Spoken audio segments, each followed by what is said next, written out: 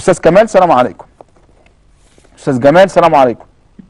آه، سعادتك. أنا ليا سؤالين. السؤال. الأول حضرتك ال ال كنت مسلف واحد فلوس من أربع خمس سنين. آه. مبلغ مالي. تمام. ورد رد جزء من المبلغ وتبقى 15000 جنيه. تمام. خبر حضرتك؟ ال 15000 جنيه دول ممكن تقول إن هو مش هيردهم يعني في في في في ميزان اعتبرهم كأنهم ديون معقوبه المفروض تمام. هل المبلغ دوت أنا أعتبره آه، آه، آه، زكاة رأس مالي؟ تمام. أنا حاضر. أنا اعتبرته زكاة رأس مال عن السنة اللي أنا اللي حاضر. أنا اديته فيها الفلوس. حاضر. ها. السؤال تمام. الثاني. السؤال الثاني سعادتك كنت سمعت كده إن بيقول لك إن لو واحد عمل ذنوب جميع الذنوب اللي موجودة في الدنيا إلا إن هو كان بار بوالديه يخش الجنة. هل في حديث عن ال عن ال عن ال حاضر. عن الجزئيه دي؟ حاضر حاضر. جزاك الله كل تحت خير. أمرك يا أستاذ جمال. طب خليني أجاوب على سؤال الاستاذ جمال عشان ده مهم جدا. آه، في الزكاة أنا ممكن أكون مسلف فلوس أو ببيع بالقسط أو عامل جمعية. الزكاة لا تخرج إلا على المال اللي أنت تملكه أو ليك عليه تصرف. يعني إيه؟ يعني أنا النهارده جيت سلفت واحد خمسين ألف جنيه. فالمفروض إن أنا الشهر الجاي هخرج زكاتي.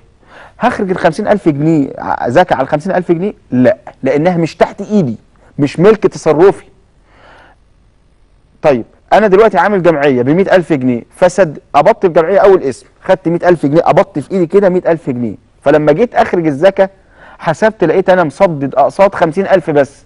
هخرج عن ال 100000 ولا ال 50000 هخرج عن اللي أنا أمتلكه فعلا. اللي أنا أمتلكه فعلا إيه؟ اللي أنا سديته ال 50000 لكن ال 50 الثانية أنا لسه لم أمتلكه لأني لسه ما سددتش الأقساط. الأستاذ جمال بقى سؤاله مهم جدا. قال لي طب بص هو سد جزء وفاضل 15000 جنيه. أحسب ال 15000 جنيه دي زكاة ليا؟ إذا كان من مستحق الزكاة يبقى ماشي.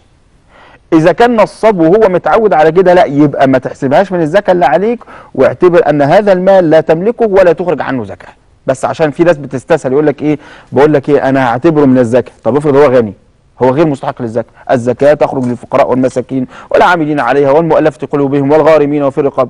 أنا أخرج زكاة الغني ليه؟ لا يبقى مش هينفع زكاة. ما تأثرش في حق الفقراء.